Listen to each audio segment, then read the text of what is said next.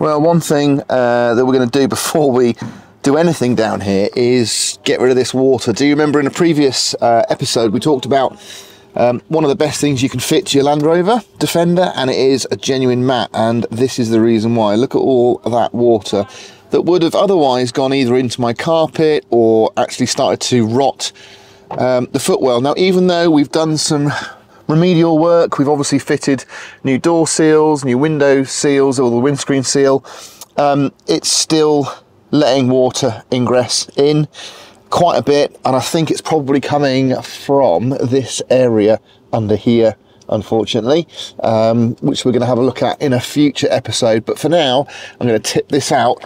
Um, I'd normally do this with two hands so if it goes wrong uh, which it might there we go that's quite a lot of water you wouldn't want that in your vehicle or in your carpet. So that, you know, it's just so important to have one of these mats. And I'm pretty sure that Land Rover, in their wisdom, lack of wisdom, I don't know which it is, but I'm pretty sure that's why they made it the way they did. Um, so you can collect your water and you can chuck it out of your vehicle.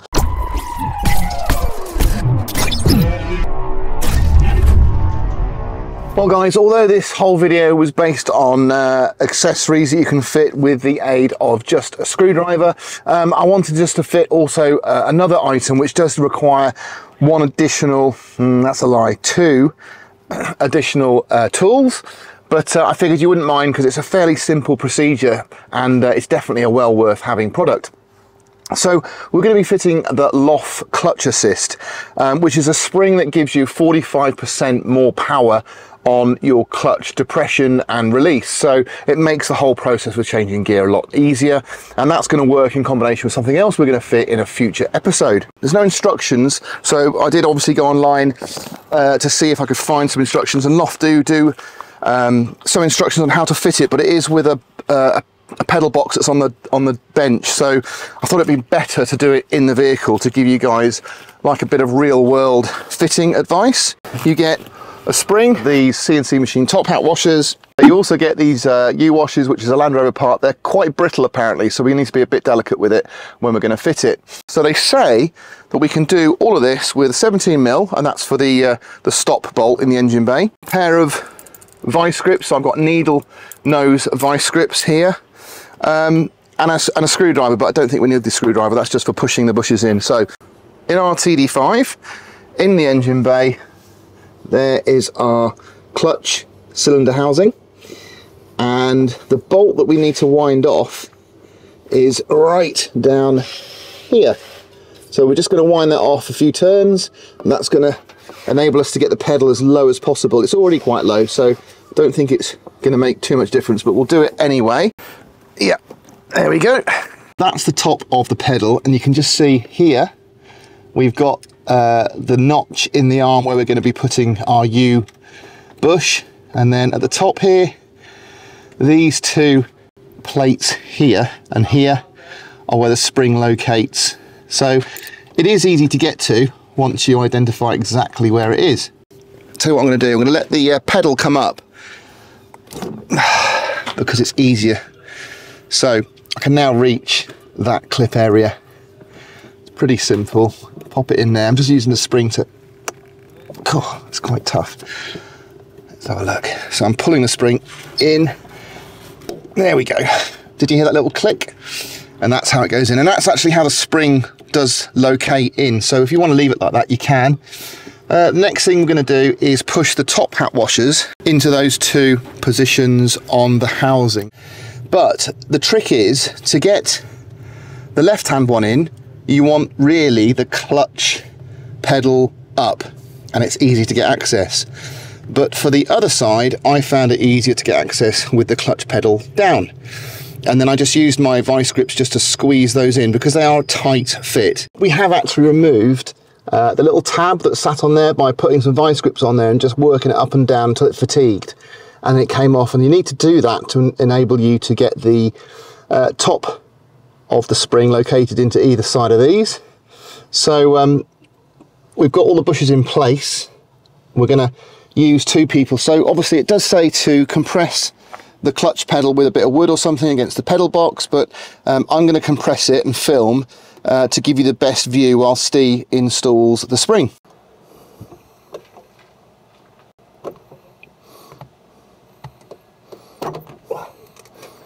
Oh, that was just by, has that gone in? Yeah, don't move. If it's gone in, that was just by sheer luck.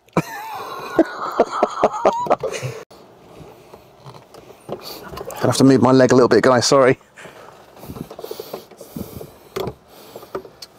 Are you in? Nailed it. Let's have a look. Steve, what have you done? Shut my finger in the pedal. Was that when it did what? Spun back. Spun, really? That's a nice blister. That'll burst a treat. Well, I can't thank you enough. You can have glamorous assistant status once again. Thanks very much. Clamp that and bend it in. There we go. And bend in. You see that? So that is what you're left with. Okay, so we did get the LOF spring in pretty easily, um, but a couple of things that will make your life a lot easier doing it because I'm not sure it's as easy as they make out on the instructional videos. So I'm just being real with you here. Um, Steve obviously did the fitting at the end and I just sort of filmed it. So thanks to Steve for that. But he found that it was much easier to use a set of long nose pliers rather than the mole grips to actually manipulate the spring into the top hats. Uh, the reason he said is basically once you've clamped the spring with this, you can't let off at all to manipulate it and move it around. Whereas you've got enough strength in your hand, using a long nose pliers, you can actually get a grip, release it, move it, grip it, release it, you know, and you can actually work that, that spring into the top hat. But to be completely honest with you, um, because at the end of the day, there's no point not being honest with you. We might as well tell you how it is, and because it would save you guys a lot of trouble. When we first tried to fit that spring, I'd forgotten to actually remove that little tab piece of metal on the clutch arm. and, um, you know, we got one side in and then it was just, Steve was like, it's just impossible. I can't get the other one in. And I suddenly remembered that you've got to remove that piece of metal, that little tab you have to work up and down until it fatigues and snaps off. If you don't do that, there is no way you're going to get that pin uh, to go into the, to the top, both top hats. You're just not going to be able to do it. So don't forget, like I did, to remove that piece of metal and your job will be a lot easier. Uh, use your pliers, but don't be fooled. You can't really do it with your thumbs. It's just, it might be easier on other models. Um, so there might be more movement on a 300 TDI possibly or a Puma. You might be able to get more um, depth on that clutch pedal. Remove your mats because that's going to help because obviously you could be able to remove your mats and push your clutch pedal in as far as possible. And actually having two people do the job even though you'd think there wouldn't be as much room there, you know, if you do the clutch, if someone sits in the in the driver's seat, depresses the clutch um, with your right hand foot, this is on a right hand drive vehicle, just sort of on the edge, keeping your leg out of the way like I did, and you can see on the camera there slightly, it means you can really depress that clutch, you can keep it nice and rock steady, and then someone can come in and do that for you. But if you have to do it on your own, yes, you can use a piece of wood, it's not a problem, but just be cautious because you might just knock that bit of wood out when you're doing it and it's just a, a bit messy. So on a scale of 1 to 10, 10 being the hardest uh, to fit, I would give that a 7 out of 10. It's not an easy job. Uh, it takes a lot of patience, a lot of strength, um, but I think it's definitely well worth getting it in there um, because it's made that clutch so much nicer to use. Um, it really has. And if you're doing a long trip, um, you know, you're going to really benefit from having that light clutch. Now, our next product is this grab handle from Britpart. Now, it's CNC machined out of aluminium. It's black anodized. It's a nice hefty bit of kit. And if you've got the original standard A-pillar trim in your vehicle, you'll actually be able to just simply fit it in place and use it as a grab handle rather than your steering wheel. So it's a nice easy fit and you know, the best thing about this, I think, is it's not just a flat handle. It's actually been machined and contoured to actually fit around the A-pillar, which means you get a really solid grasp. So there's no movement in that whatsoever. Now you notice on here possibly that we've got the gloss A-pillar trim, which is another product you could consider if you've got broken ones in your vehicle. They come as a matte um, finish uh, out of the factory, but these are gloss and a little bit nicer and they do work well with this uh, CNC machine handle but you can just see how nice it fits on there. If you like me, you've got the side step, rather than pull yourself up on your steering wheel, you can just grab yourself a handful there and it's plenty strong enough. I'm 18 stone and that is not going to move. That's not going to budge at all. The only problem I have with it, and it's not its fault, um, is that I wanted to fit the uh, extra deep A-pillar channels onto my vehicle because I'm going to have some additional wiring going from the front to the back. So I need the extra room in this pillar um, that's given by this uh, mud component here. So I'm going to take this off quickly and show you just what I mean by that. The only issue is that you can't run, unfortunately, this handle with this A-pillar unless you sourced your own screws, which are even longer. But then you are sort of adding quite a lot of torsional stress. So unfortunately, you're gonna have to choose, is it gonna be the handle or is it gonna be the extra deep channel? This is the standard one you have on your Land Rover uh, out of the factory on your Defender and this is the deeper channeled one and you can just see how much deeper it is and how much more room you can get for wires. So I'm going to tuck my wires into there first. Uh, it comes again with uh, extra long screws and you should be able to get these started by hand. Don't want to over tighten them. There we go. Okay, so to replace our side repeaters with these LED versions, quite simply, all we have to do is remove the existing one. Uh, it doesn't need any special fittings or tools, but really just slide this uh, lamp forward and that'll allow you just to get a flat blade screwdriver underneath here safely without damaging your paintwork and prise it off. So simply unclip your old indicator lens unit and the new one is exactly the same bayonet fitting, so that just slides straight on easily.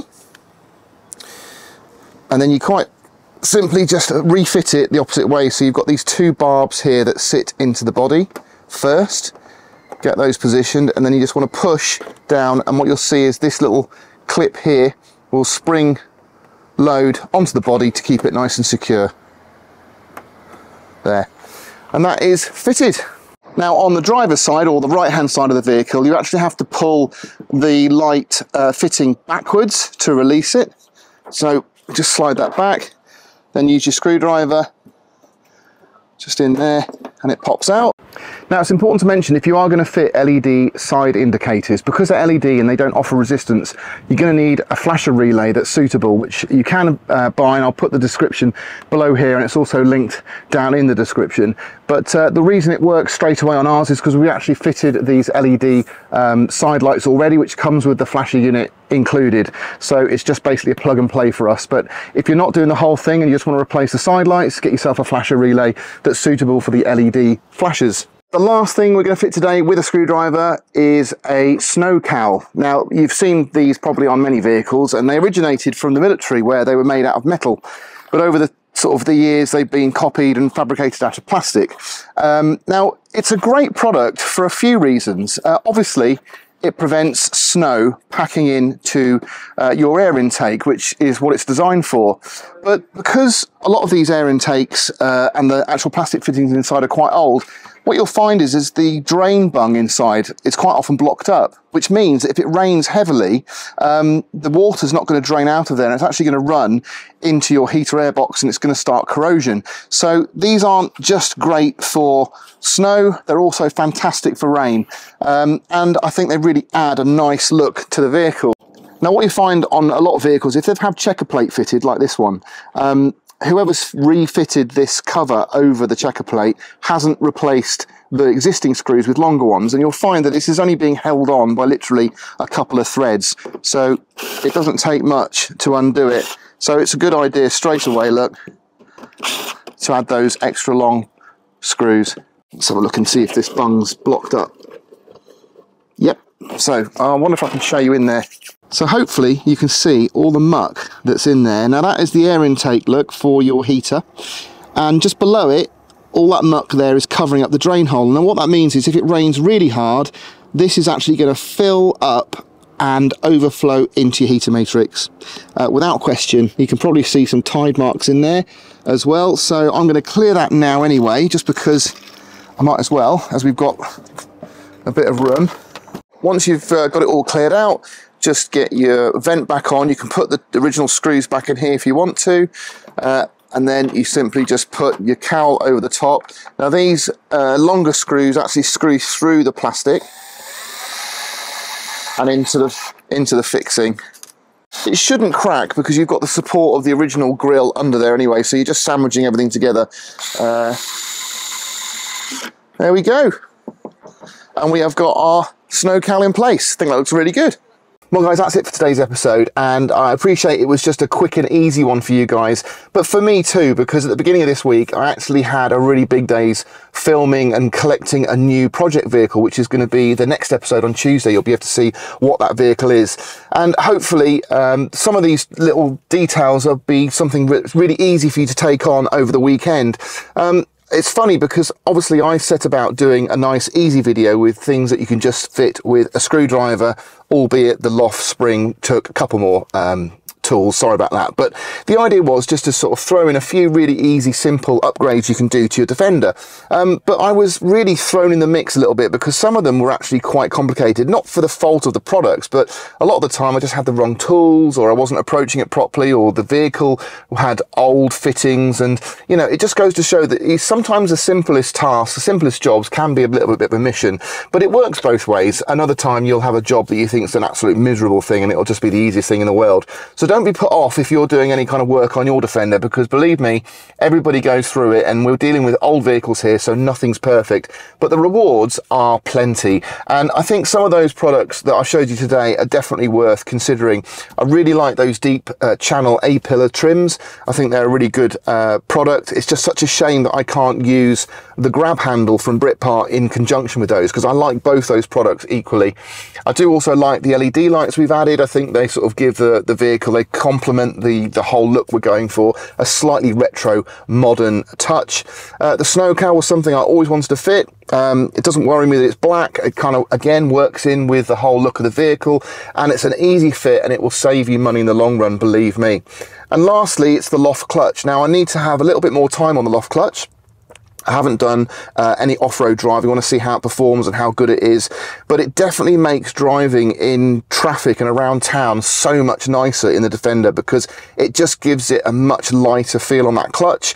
Um, and if you're just in stop-start traffic, it's just so much better than having the original sort of heft of putting that clutch down and releasing it. And you know what it's like. If you've got a Defender, you know where I'm coming from on that one. So for 20 odd quid, it's a really good upgrade.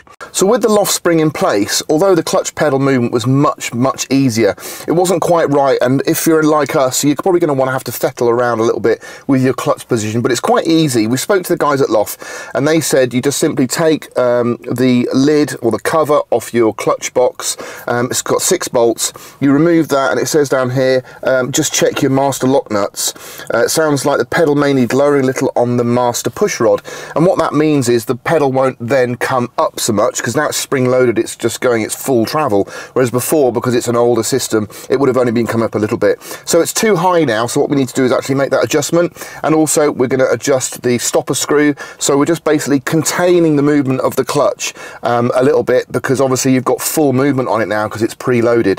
Uh, and then when we get that sorted, we'll do another little review of it, how it performs off-road, and give you some feedback. But all in all, yeah, a great little product. So thank you so much for watching. I do really appreciate all of you guys who have subscribed. So if you haven't, please do click the button and do give me a thumbs up if you enjoyed the video and I'll catch you on the next one.